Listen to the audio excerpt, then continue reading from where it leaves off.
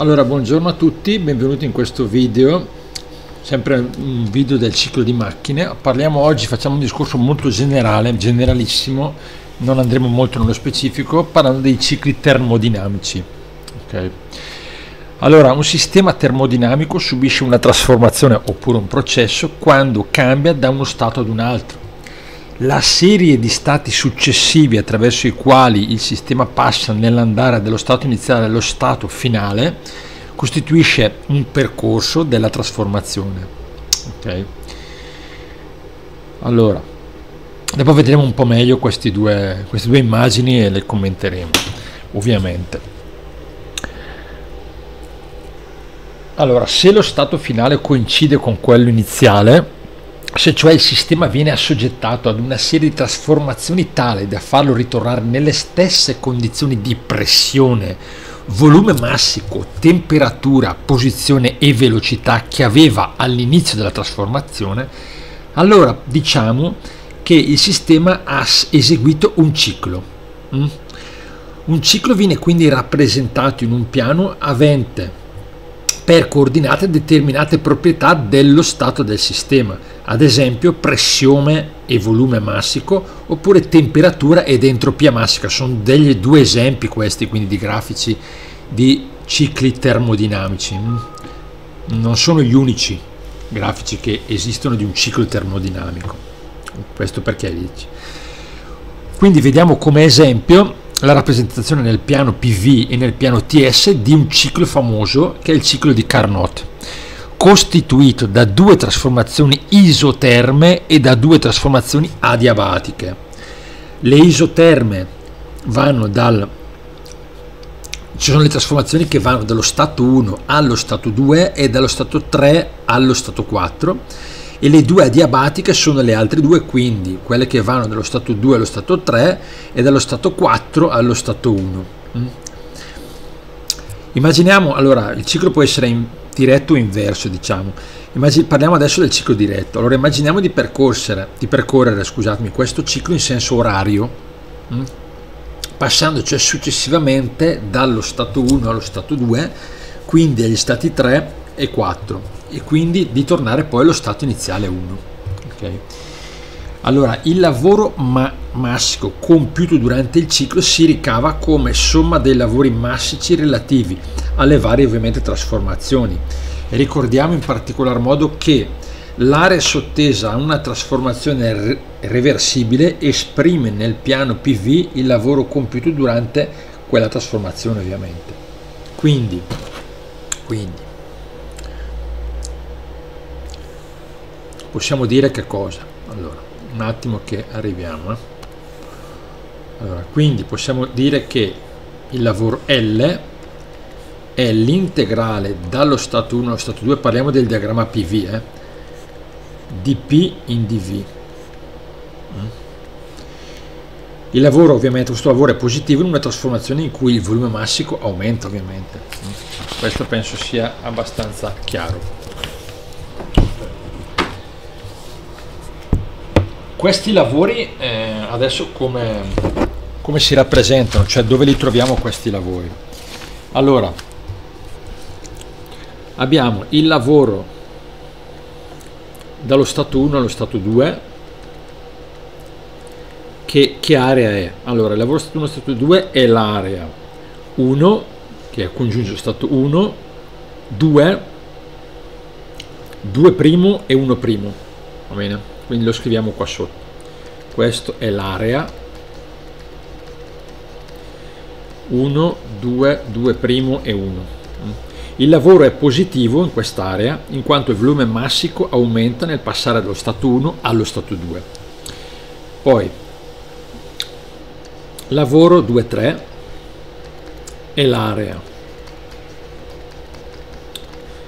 2 3 3' e 2' andiamo a vedere che area è quindi l'area 2 3 2 3 3' e 2' questa piccola area qua diciamo va bene? L'altra era questa ovviamente. Il lavoro è ancora positivo mm? quindi il lavoro è ancora positivo. Poi abbiamo il lavoro trasformazione 3-4 che è l'area 3, 4, 4' e 3'. Il lavoro diviene negativo perché il volume massico diminuisce nel passare dallo stato 3 allo stato 4. Andiamo a vedere che area è 3, 4, 4', 3', quindi 3, 4, 4', 3', insomma è tutta questa.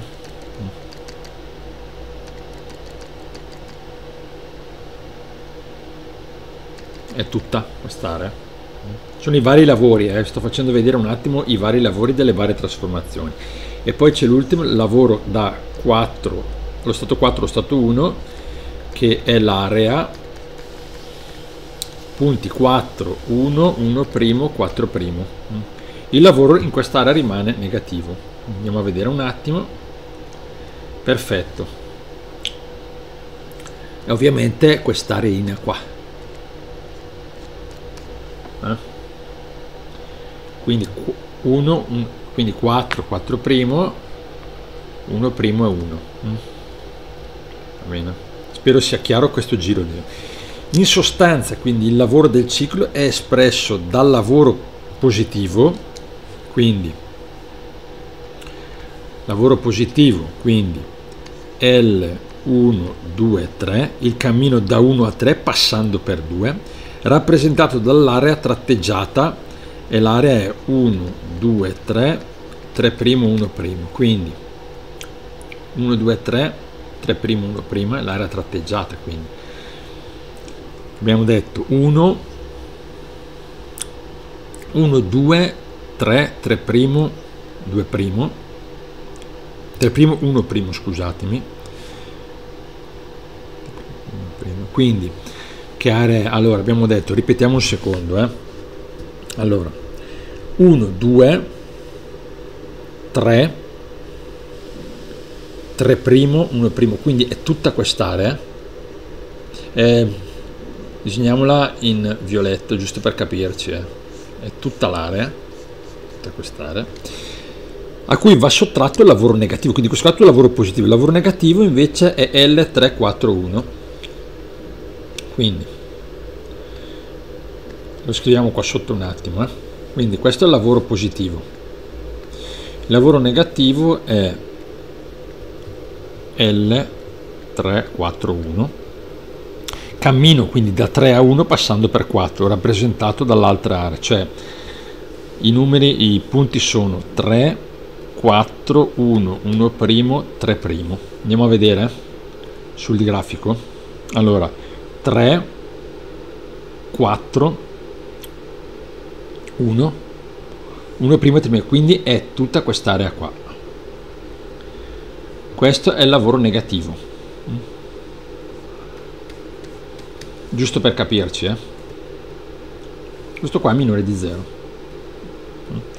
quindi facendo il lavoro positivo meno quindi l'area del lavoro positivo meno l'area del lavoro negativo rimane un lavoro positivo L rappresentato dall'area interna al ciclo quindi sostanzialmente questa differenza qua dei due lavori sarà rappresentata adesso la disegniamo in, in giallo che è quest'area.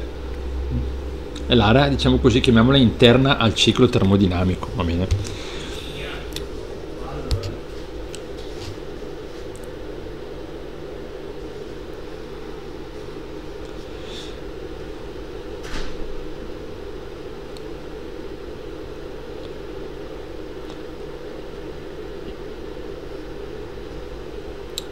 Allora, stesso discorso analogo diciamo si può fare per quanto riguarda il diagramma TS, quindi calcolando i calori massici scambiati lungo le singole trasformazioni del piano.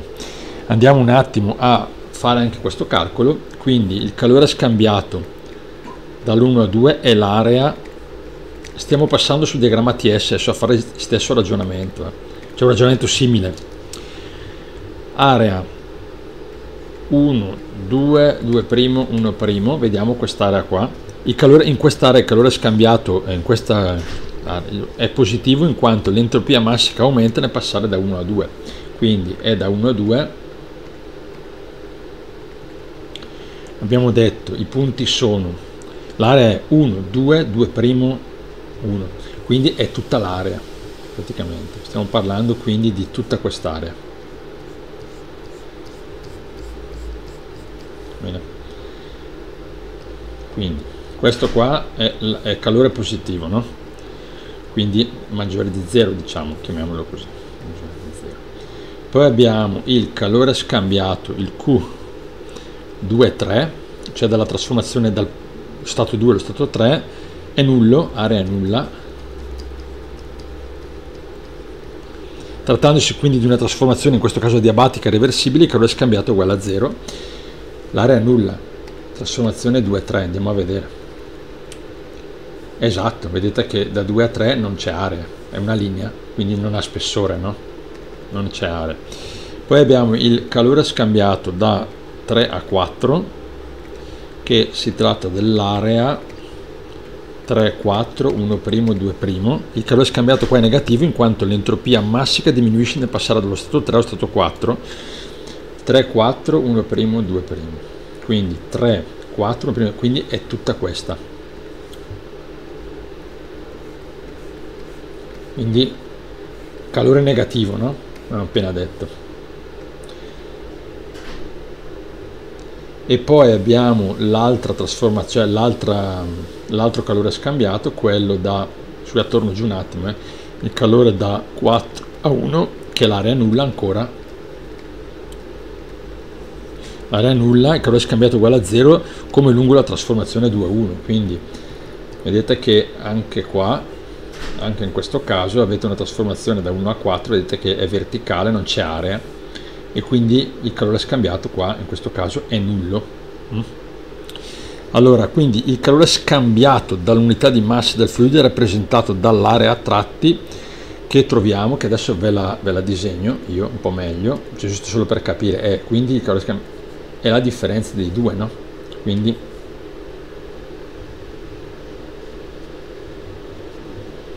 che è questa, che è l'area del ciclo alla fine, no? È quest'area qua, quella del ciclo. Quindi ripeto, il calore scambiato all'unità di massa fluida è rappresentato dall'area, quindi che si ottiene facendo la differenza fra il calore positivo e si togliendo la parte ovviamente negativa, quindi calore scambiato dalla eh, trasformazione Q1,2 a cui togliamo la trasformazione del calore, il calore scambiato scusatemi nella trasformazione Q34 mm? quindi, quindi questo calore meno questo sostanzialmente